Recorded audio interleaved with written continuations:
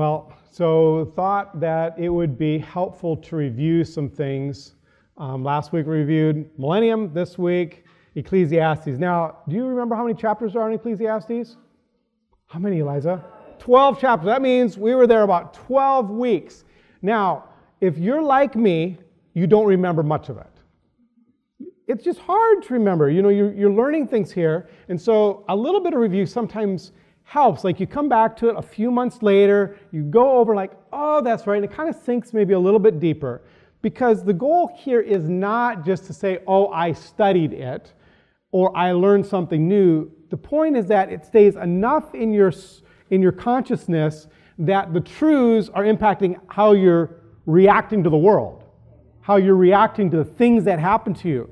The hope is that these truths that we've discovered, when, when circumstances happen, when things feel out of control, when we're worried about something, when we're anticipating something, we're reminded of truth. And it is like ballast to our faith no matter what happens. So we've spent about you know three months studying it, and my goal was to revisit it and summarize some things.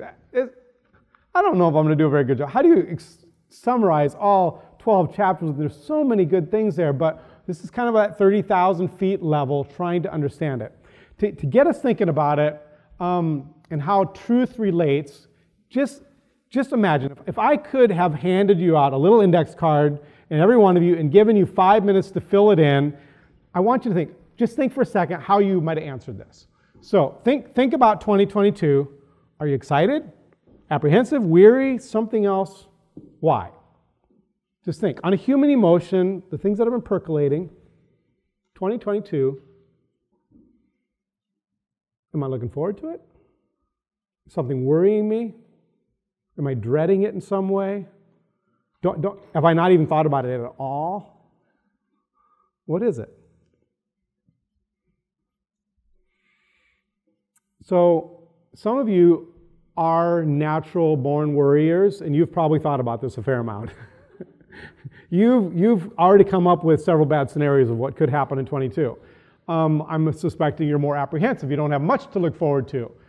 Um, and you're the kind of person that probably thinks, well, if it probably won't be as bad as I think it is, then I'll be pleasantly surprised, but we prepare for the worst. And then, then there's the people that are just optimistic. They tend to be uh, those extroverts, optimistic, the kids, yeah, you're looking forward, like, it's going to be a great year. um, that's good too. Um, 20, well, don't say that. the worrier says, no, no, no, no, no, you, you do not understand. Um, and, and, I, and I suspect there's people that haven't thought about it at all. They're just like, just another week, just another month, just another, I'm just busy doing this stuff. Okay, um, but if I set this in front of you and I really said, I want you to write something down, probably because you're a Christian, because you've been attending church, because we've been talking about the Bible a lot, I think in your mind somewhere you'd start to say, well, yeah, if I'm honest, I'm worried about this, but I know that God tells me not to be worried. Or you say, well, I know I'm looking forward to doing this, but I know I can't depend on that because God says, if the Lord will. So, so you're placing those biblical truths in there. And that's, that's right. That's what we're supposed to be doing. So let's try to do that now with Ecclesiastes. It's a text, a book given to us so that there's truth, so that when we look forward to the coming year, or don't look forward to the coming year, there's something that helps us get through it in an encouraging right way. Now, you, were supposed to have read through Ecclesiastes again this week, and hopefully you experienced again reading chapter 1 and 2 where it's like, I'm going to do this. I'm going to seek out pleasure, make a legacy for myself. And he says it's all vanity. It's all meaningless, it's all whatever your translation said. And you realize that at a human level, we can make plans, but where's God in this whole picture? So let's try to think again through Ecclesiastes. Here's a guy who had plans. Here's a guy who was exper- seeking out pleasure, seeking out a legacy, trying to do what he wants to do. And yet, what's it all about? And in the end of the book, where Ella just read, it says, This is the whole duty of man. Or some of your translations were more accurate said, this is everything to a person, or this is man's all. It's to fear God and keep his commands. That's it. That's the book. So you were supposed to read through the book this week. Did you find anywhere that talked about fearing God? Because that's what you're supposed to look. That's what the book says it's about. Did you find anywhere that talked about fearing God? Well, chapter 5. Okay, where else? 314 and one other place. 812. So there's three places. So I got them highlighted here. Um, here's the end of the matter. All's been heard. Fear God. And there's three little dots there. Now, if you're a biblical interpreter and you've read the end, okay, he said, this is what the book's about, fearing God. And now, in three passages it mentioned fearing God. Does that seem like an overwhelming case for the books about fearing God? It doesn't really feel that way. So we're going to have to think through this. Why does he say this is what the book's about when it only mentioned fearing God three times? Now let's, let's look at these three times quickly, just to review. You guys read through it, but, but here they are. Fear God. He says in chapter 3, I perceive that whatever God does endures forever, nothing can be added to it or anything taken away from it. God has done it so that people fear before him. Next place, in chapter 5. Um, he's been talking about offering a sacrifice to God.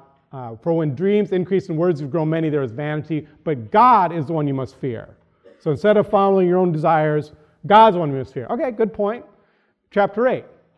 Though a sinner does evil a hundred times and prolongs his life, yet I know that it will be well with those who fear God because they fear before him. So, because they're fearing him, it's going to go well with them but it will not be well with the wicked. Neither will he prolong his days like a shadow because he does not fear before God. That's, that's good stuff, but it's three little verses or three little passages in 12 chapters. Um, would have you said, had you read the whole book, would you say this book is about fearing God if that's all you saw about the fearing part? I probably wouldn't have picked that. So I've got to understand the logic. that the interpreter thought it necessary to tell us this is my point. This is my point. So let's try to figure out why was this his point. Now, fear God, keep his commandments, for this is the duty of man. For, and he gives us the reason, fear God, keep his commandments. This is everything to a person. This is about being a human. For, here's the reason God will bring every deed into judgment with every secret thing, whether good or evil. Oh, so maybe, maybe there's a lot about God judging. Is there a lot about God judging in this book? Are you remembering it? Are you thinking now, oh, I maybe should listen to the, the text a little bit more? yeah, because you got a review here. This it just goes in one ear out the other. And this is hard to remember, so let's review. So here it is. Those are the judgment places. Those little red dots. Four places. You can notice um, at three of them, they're really close to the fearing God part, which would make sense. He's connected them in each case. Here, here, let's just look at a couple of them. God will bring every deed into judgment. I said in my heart, God will judge the righteous and the wicked, for there is a time for every matter and every work. God will judge. First time it's mentioned. Chapter 5. Let not your mouth lead you into sin, and do not say before the messenger that it was a mistake. You're offering a sacrifice, you said, I'm going to do a good sacrifice to God. If he does this, he does it. The messenger from the temple comes and says, Where's the sacrifice you promised? You go like, actually, I, I didn't really mean that. Uh, no, don't do that. Why should God be angry at your voice and destroy the work of your hands? Doesn't use the word judge, but there's a judgment there, so I included it. Chapter 8. Though a sinner does evil a hundred times and prolongs his life, yet I know it will be well with those who fear God because they fear before him. But it will not be well with the wicked.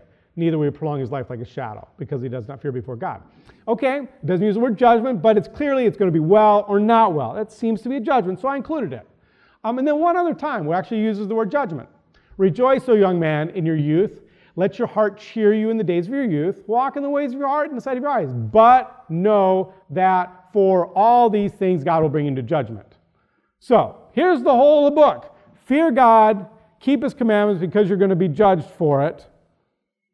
And then he's said this three different places. Does that seem like an adequate summary of the book now? Are you seeing the problem? Does it feel like a problem to you? It feels like a little bit of a problem. It seems like a minor point he's made in 12 chapters, not a major point. So, what is more the major thing? The question I think that is helpful to ask at this point is okay, I'm supposed to fear God because He's going to judge me. What does that say about God? Even if, even if it's just told God will judge, what, what is the author now presupposing about God if He's the one we should fear and judge? What is it presupposing? Anything come to your mind?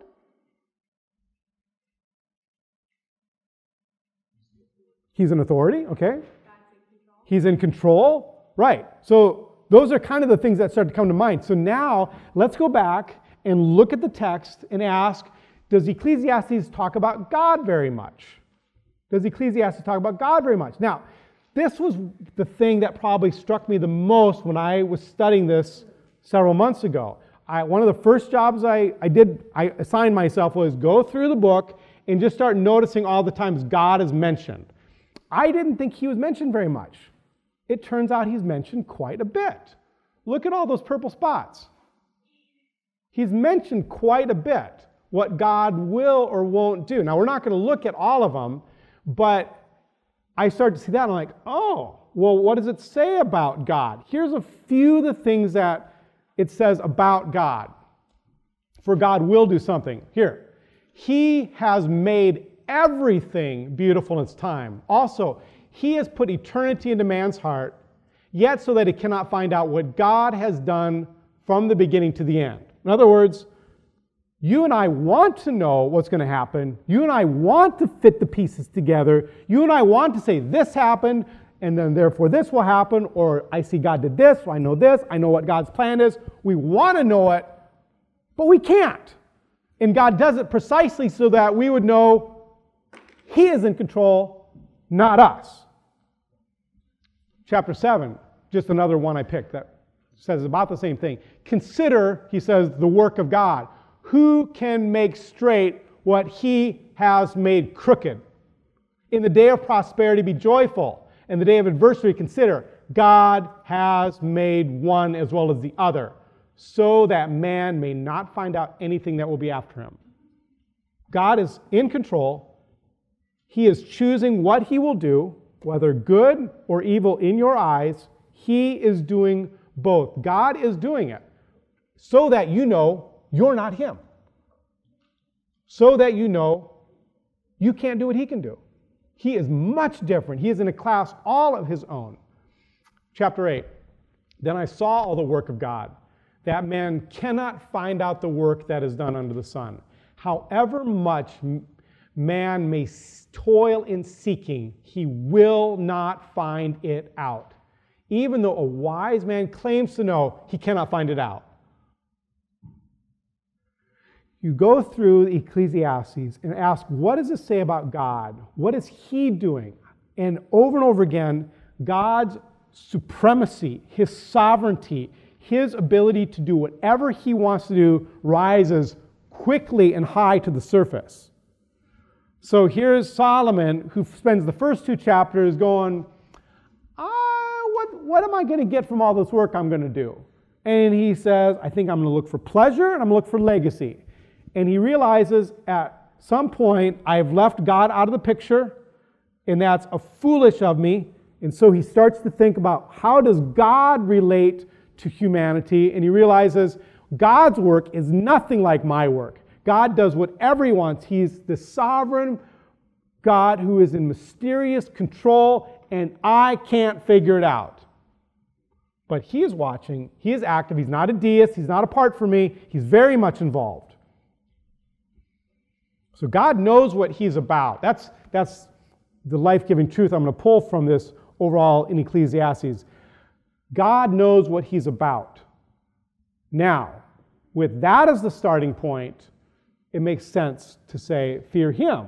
If He's the one that's really in control, if He's the one that's got a plan, if He's the one that's got a plan and judging us, and He's given us commandments. Now, that word commandment is not used anywhere else in this book.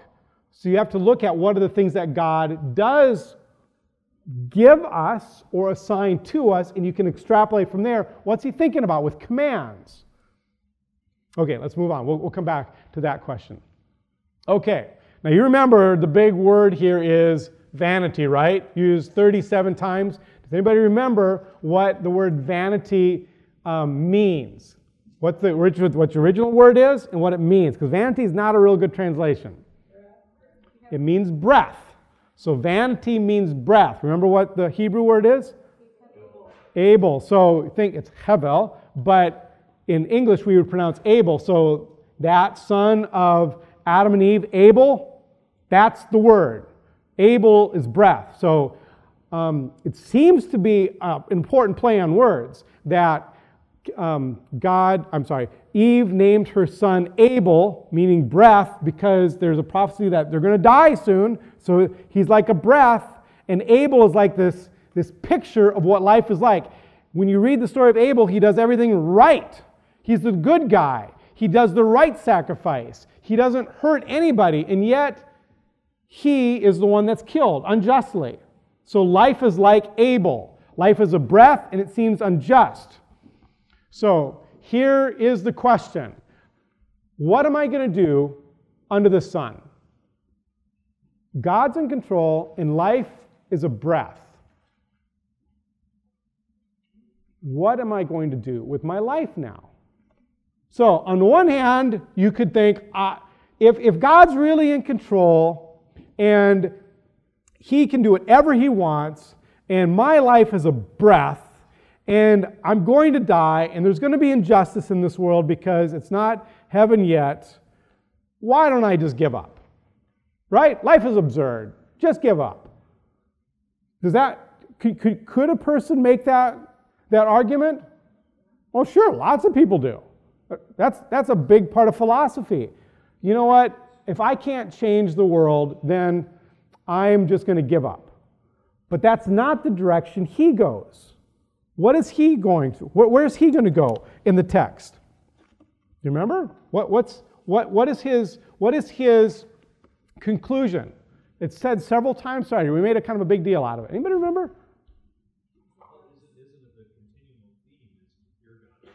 Right. Right. Good.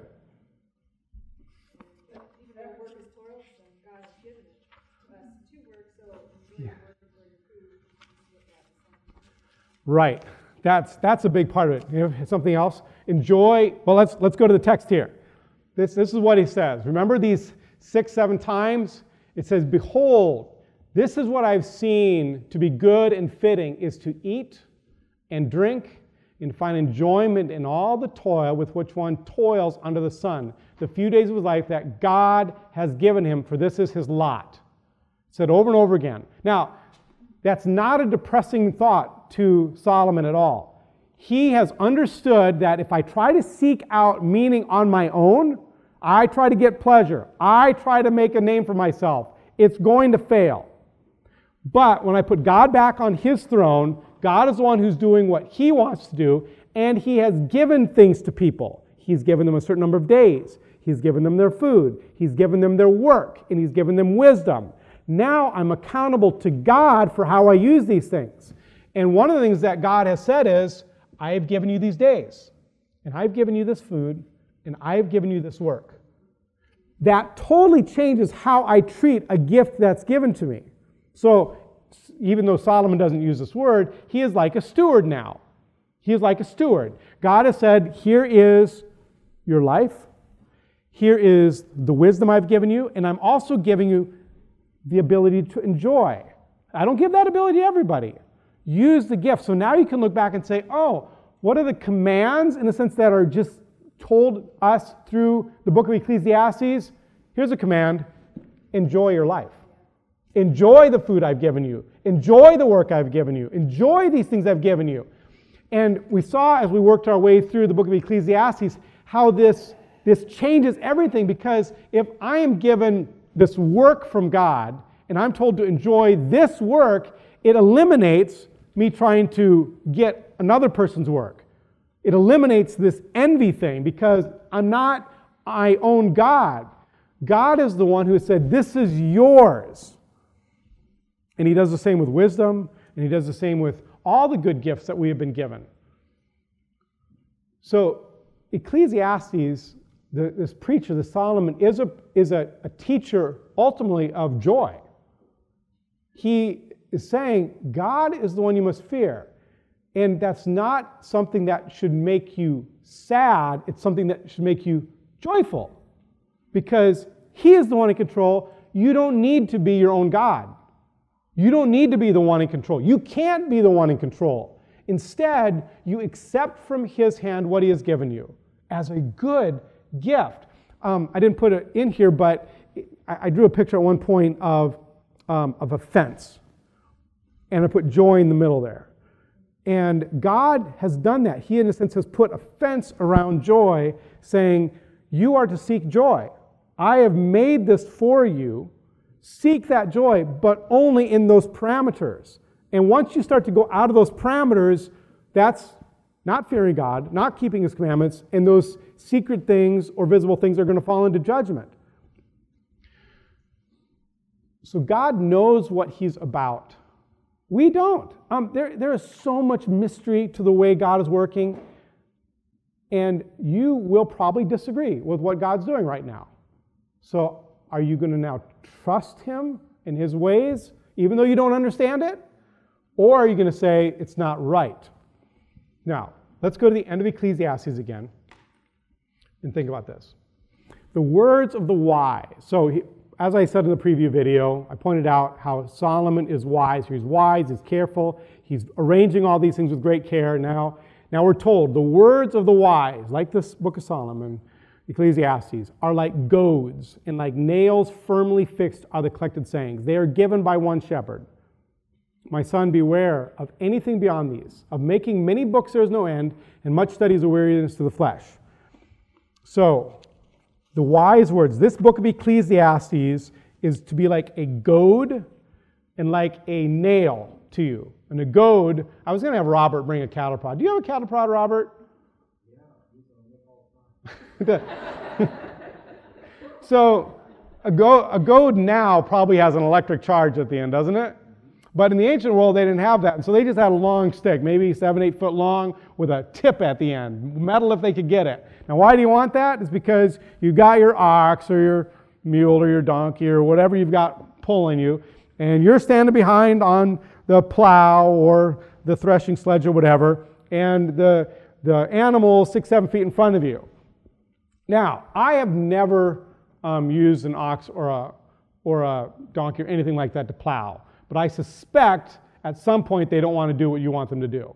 That's, that's what I suspect. It seems to me that it takes a lot of skill as a herdsman or as a shepherd to make an animal do what you want it to do. So you've got this massive ox or this donkey, and the donkey is supposed to be going on that straight furrow. And it does it for a while until it decides it doesn't want to do it. At that point, what do you need to do if you're a shepherd? Little poke. Little poke. It motivates because an ox doesn't want to go that direction at all. Now, I, I think the, the shepherd or the ox herder could say something. He could walk up to the front of the ox and say, Now, um, we've only got an acre to do here, my fellow. That means it's about 27 rounds back and forth here, and then you'll get to rest. got that? Okay. Let's go. Will the ox go? No, can uh, go back to ox. Now, ox, don't you realize that we're putting seed in the ground after we plow this, and that will grow up to be grain that we will share with you um, all winter long. So you want to eat, you need to plow. Hmm? Hmm? Come back. Let's go. Will the ox go? No, of course not. The ox doesn't understand that kind of stuff he has said there's a parallel between an animal and us people. God knows what he's about. He's got a plan. He sees the future. He's got a system, and it makes perfect sense to God because he knows what he's about. You do not understand it. In fact, I think Solomon would say it's because you couldn't understand it. It's too big. It's too big. I don't even understand how my smartphone works. Could I understand how God's running the world? I don't know. I couldn't. I, if God could explain it to me, it would make about as much sense as me explaining to an ox why he should go through the hard effort of going back and forth and back and forth. So, the words of the wise, this Ecclesiastes is like a goad for you because you're not naturally going to want it. It doesn't naturally make sense to you. God is in control. So now, keep working. I don't want to work. Poke. I'm, God says, but I'm in control, and these are like goads poking you. Why do they need to poke you? It's so that you keep moving even when you don't want to.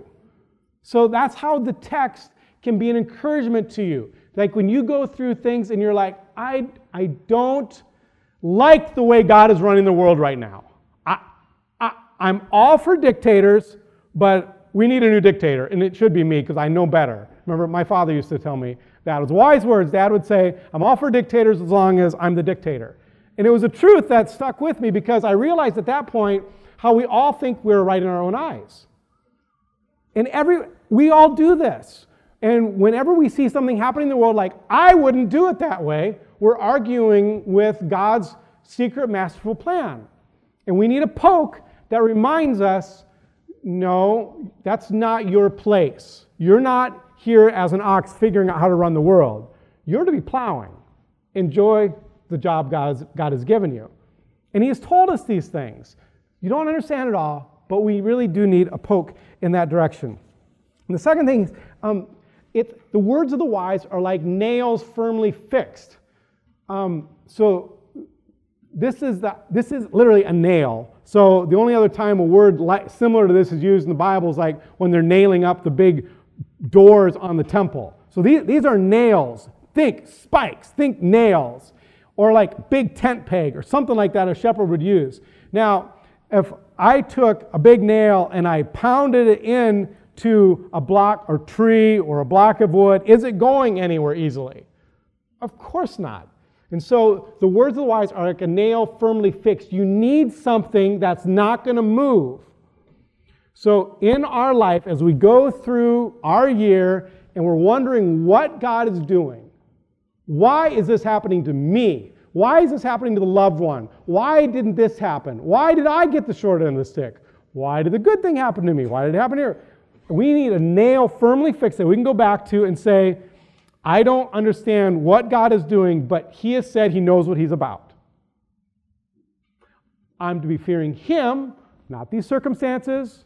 I'm not to be going off in my own direction. I need, I need a truth that I can latch onto and say, I only need to fear the one who knows what He's about. I don't need to figure this one out. I need to hold on to this.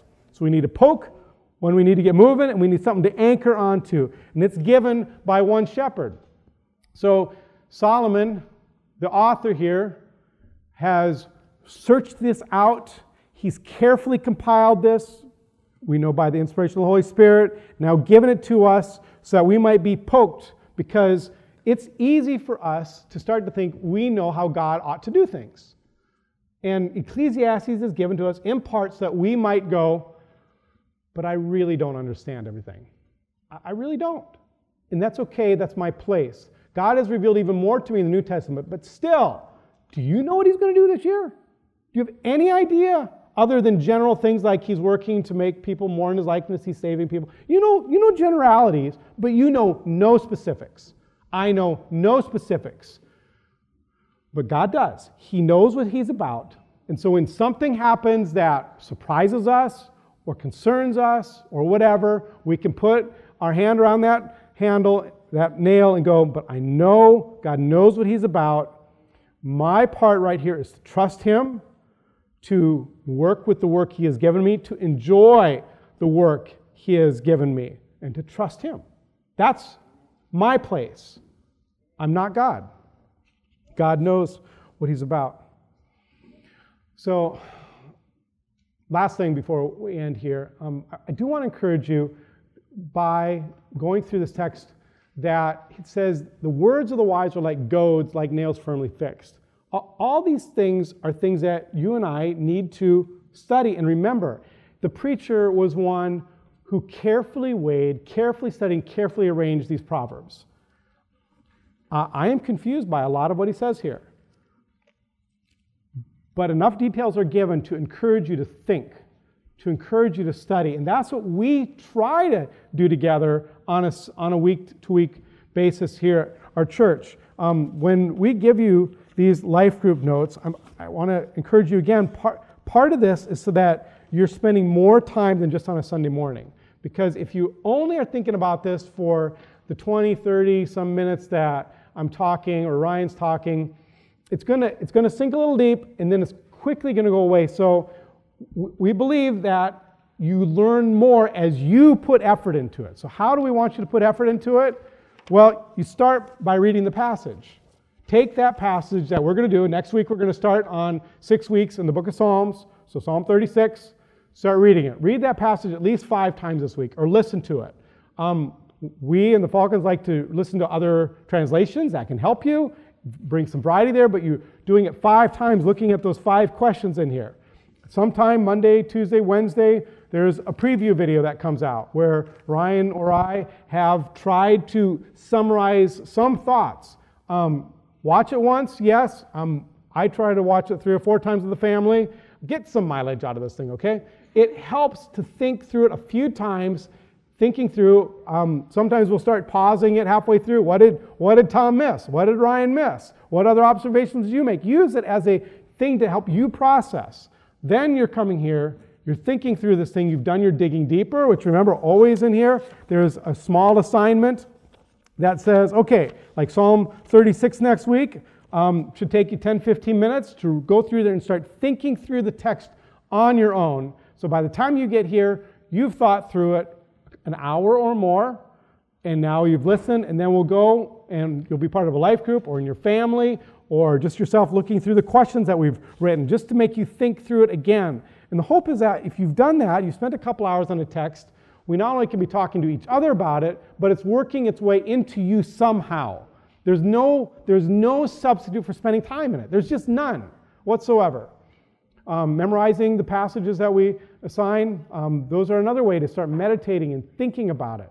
I just want to encourage you again. I know it's hard, and it's something that you can say, well, I do my own little thing. Yes, I'm glad you do. Add this. Add this.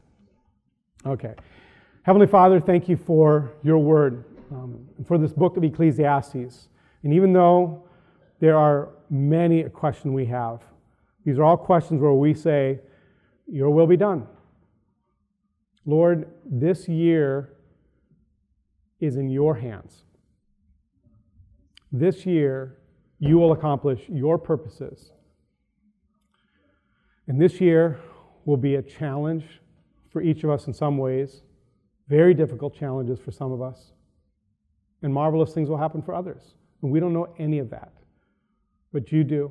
And so I ask, Father, that you would give us a humble heart, that when things happen that are hard for us, we come back to a truth that you know what you're about None of the disciples understood at the time why the Savior needed to die as he did, and yet you knew what you were about.